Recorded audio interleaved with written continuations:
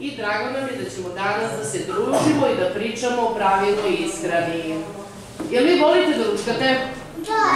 Mnogo ili malo? Ne. Ne. A šta volite? Ne volite jabuke? Da. A kruške? Da. A šljive? Da. A vi ste super, vi ste najbolja deca, definitivno. Baš ste super što volite sve to da jedete. Pa ćemo malo da slušamo o tome šta je zdrava hrana. Da, zašto je vama potrebna hrana? Ajde, zna neko? Da budemo zdravi, Odlično, dalje. da budemo snažni. Bravo, dalje. Zašto?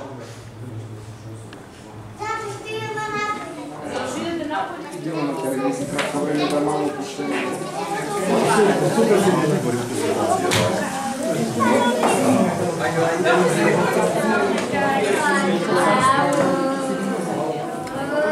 Svako, neko, svako neka uzme po nešto, ne stavimo ovdje na ovo. Šta, šta može da bude ovo?